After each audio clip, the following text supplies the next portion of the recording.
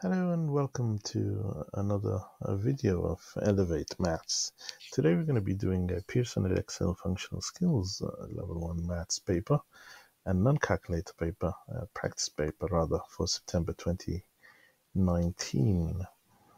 Right, so if we just start with the first question straight away. Um, right, let's see what the question says. So it's always a good idea to read the questions carefully, even though they look easy. But it's easy to make mistakes with functional skills exam papers. So always underline the keywords and the information required and understand what do they want. What does the examiner want from you in terms of the answer they're looking for? Right, so let's read the question. Here it says Jack is keeping a record of the number of steps he takes each day. Monday, he takes 8,565 steps. This is the number of steps for Tuesday, Wednesday, Thursday, and Friday. Now, here it says work out the range of the number of steps. So, range, as we already should know, is basically the highest value take away the lowest value. So in this case, what's the highest value? It's obviously Wednesday, which is 15,323, and the lowest value is the one with the least thousands is Monday. So basically I'm doing Wednesday, take away Monday. So let's do subtraction. So that's 15,323. I have to align the numbers in terms of their place values. That's 8,000 underneath the 5,000. Okay, 565.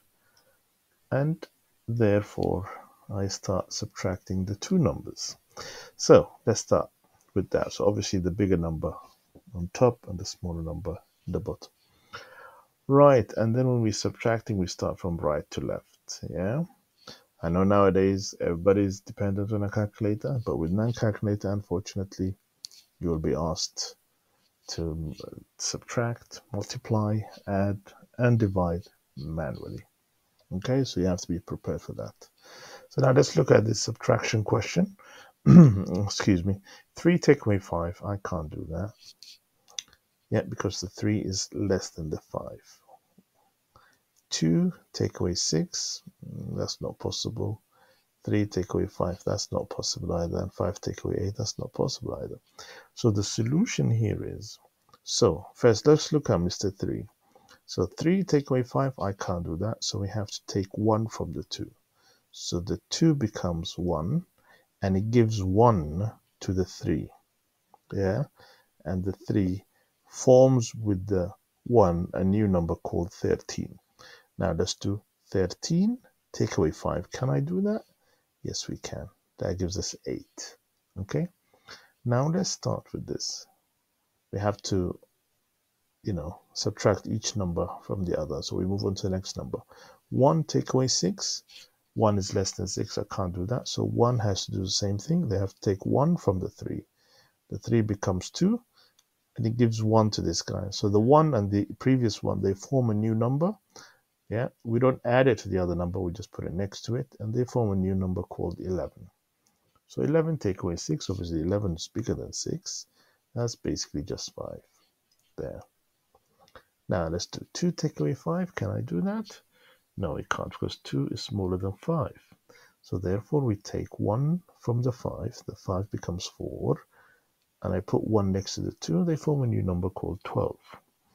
12 take away 5, that gives you 7. Good.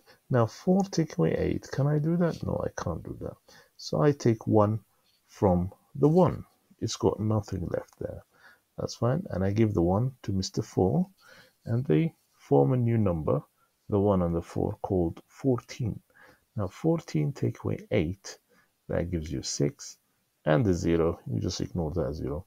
So therefore, your answer is 6,758. Okay, that's your answer. Now, now here in all, in most of level one questions, they always ask probably two or three questions to show a check of your answer. So to show a check of your answer means to do the opposite that you've done here. So here the operation was subtraction, so you do the opposite, which is addition.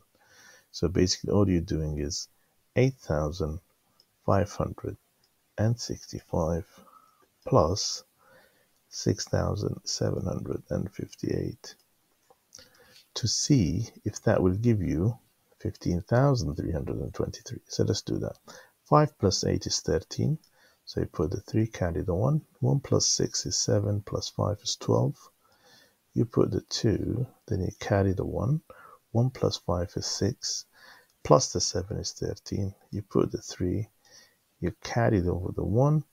1 plus 8 is 9, plus 6 is 15. That gives you 15,323. So our check is successful and it's complete. And you get full marks. You get two marks for that question and then one mark just for the check. Now let's move on to question number two. So question number two here says,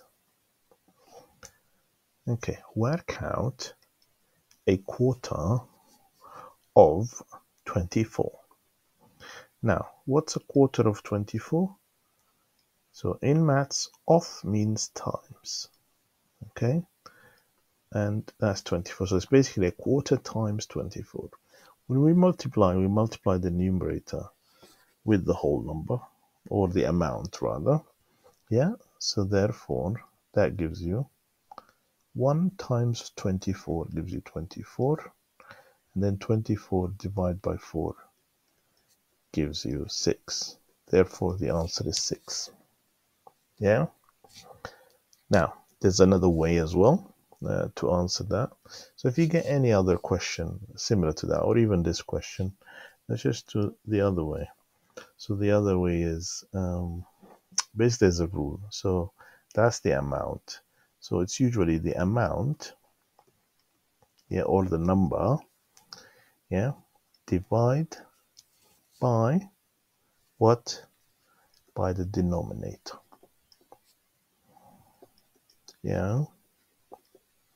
And our denominator in this case, it's that it's the 4. Yeah? So denominator is always the the the bottom number in the fraction. Now, then you get a result or an answer basically. All right. Now, what do you do with the answer or the result? So the result, I times it by the numerator. Yeah, and that will give you the answer you're looking for. Now just use this for any fraction of something and then you'll get that, yeah. You may not need to use the result times numerator in this case, yeah, because our numerator is just one, yeah. So whatever the result is, it will not change when you multiply by the numerator. But imagine if the numerator was 2 or 3 and so on, obviously it will change. So it's just a good habit just to do that. So let's just follow this method as well. So that is what? 24. Divide by 4. That gives you 6. The 6, you times it by the numerator, which is 1. That will still give you a 6. Okay? So, it's that method or this method. It's up to you. Excellent. And that's your one mark there. Now, let's look at this question now. Now this question says work out minus 5 plus 3. Minus 5 plus 3. Now, it's always good to have a number line in this case. Okay. Now, this is our 0. That's minus 5. Yeah, and then here you have minus 4. Here you have minus 3 minus 2, minus 1, 1, 2, 3, and so on. Yeah, let's say 4, and then 5. Now, always this number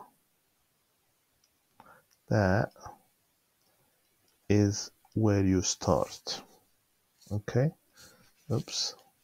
Now let's just what happened there. Mm, let's just get rid of that, hopefully.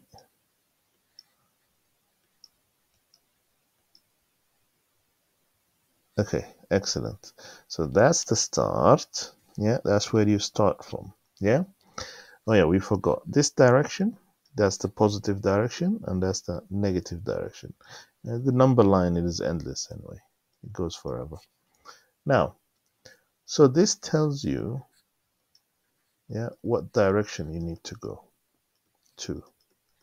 Yeah, and then the number that follows the sign, yeah, that tells you, for example, let's say the number of jumps, maybe, or steps, okay, or moves that you need to make.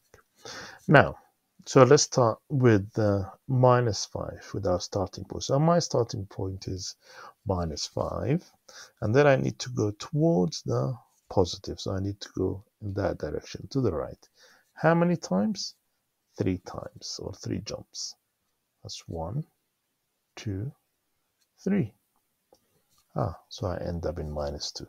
So therefore my answer is minus 2. There you go. Very easy. Yeah. So always just have a number line there for you. Ready? Yeah, it will just take a minute and that's it. Because these kind of questions, they're easy, but they're easy to make mistakes at the same time. Now let's look at this question. So here it says, write 6.384 correct to one decimal place. Correct one decimal place. So all they want is a number after the decimal point. Okay, so so if they want it correct to one decimal place, so they, they just want 6 point a number and they don't want those two extra numbers.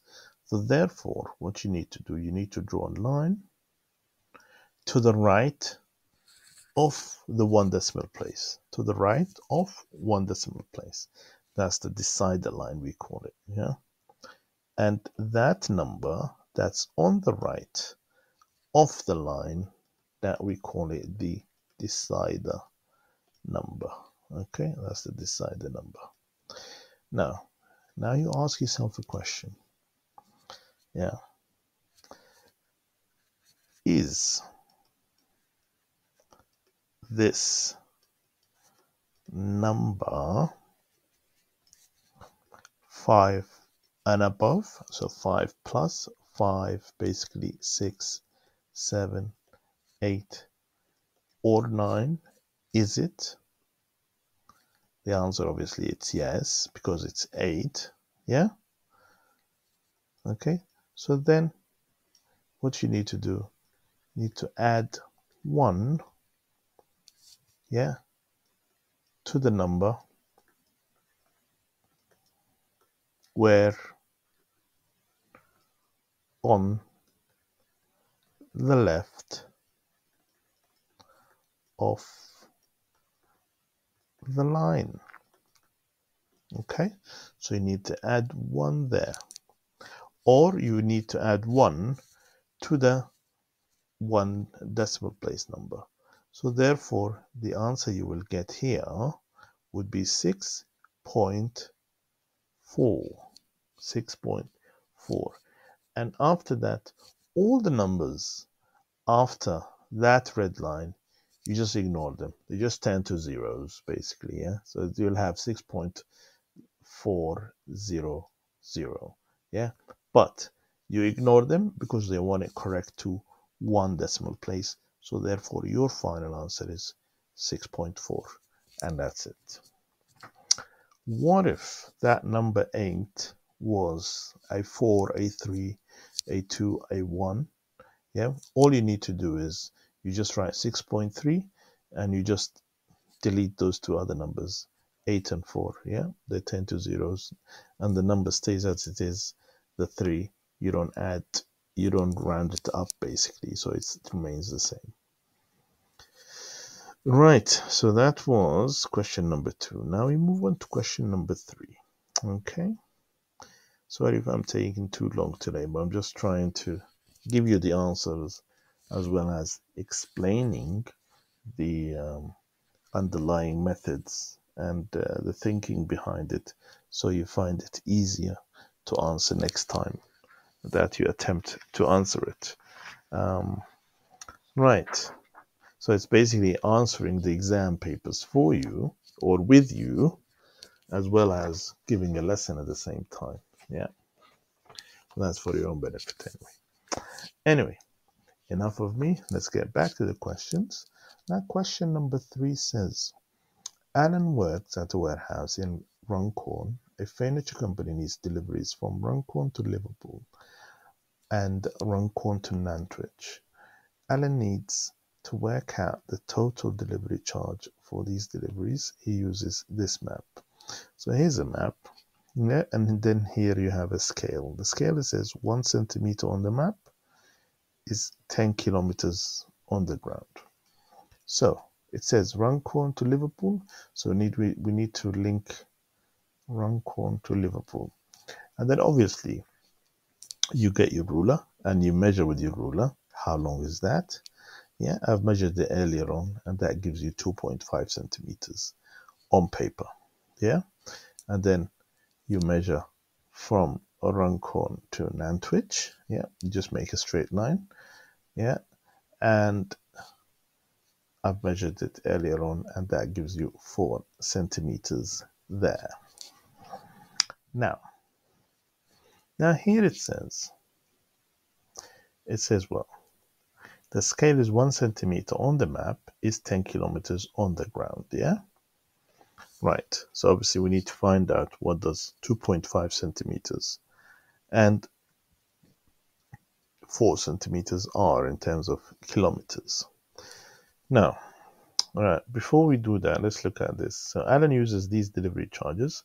So these are the delivery charges uh, they use. Okay, so less than 20 kilometers, that's 9.99. 20 kilometers, 35 kilometers, that's 14 pounds 99. Over 35 kilometers, that's 24 pounds and 49 pence. So here's a question: is uh, says work out the total delivery charge and show how you get your answer. Okay, now so before we do that, first we need to do the conversion of the distances. So let's look at Liverpool to Runcorn. So that was basically 2.5 centimeters. I need to convert that into kilometers. Yeah.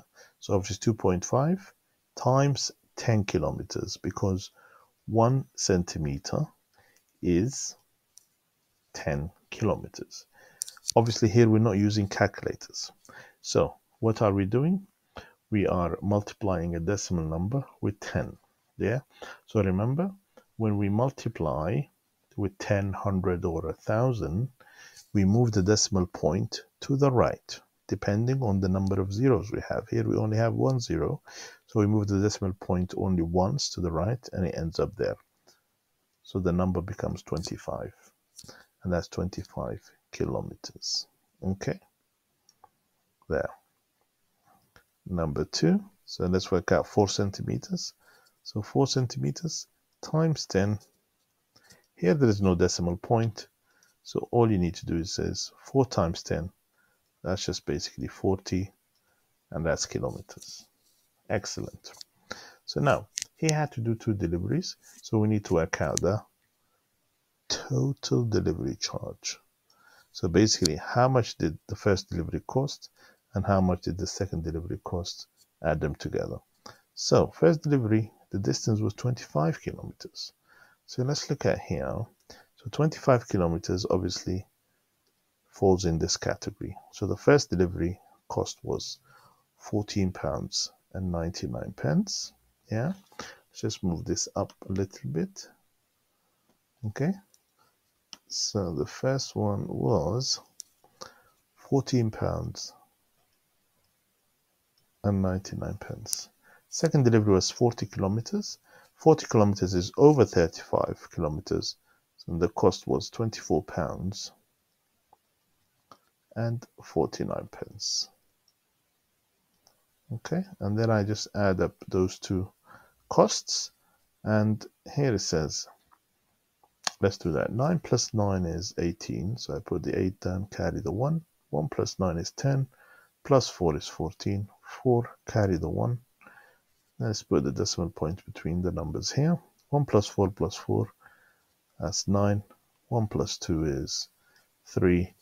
Therefore, the cost is, total cost is 39 pounds and 48 pence. Okay, and 48 pence. And that's your answer, and you get four marks for that. Amazing. So that was question number three. Now let's look at question number four. Question number four. Now, question number four says John works Monday to Friday. He buys his lunch on his way to work. Each day, John buys a sandwich, a bottle of water, and a bag of crisps. So here, these are the costs or, the you know, or the price list for shop A, and here's the price list or the deal that uh, there is in uh, shop B or shop B has. Now, John thinks he will save more than £7.50 a week if he buys his lunch each day from shop B instead of shop A. Is he correct? Is John is is John correct? And then here it says in bold, you must show you're working, yeah. So we don't the examiner doesn't just want the answer, yeah. You have to show the steps that led to the answer, yeah. Otherwise you won't get all the marks. You might just get one mark and that's it. Now let's look at shop B. So let's look at actually what he buys. So each day he buys a sandwich, a bottle of water, and a bag of crisps. Three items. Yeah.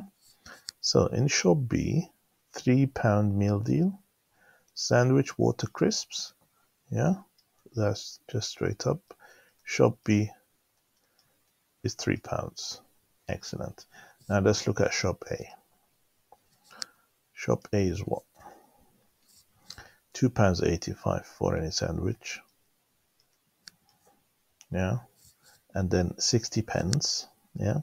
So when you when you're adding them up yeah this says 60 pence. So you have to convert the 60 pence into a pounds format yeah?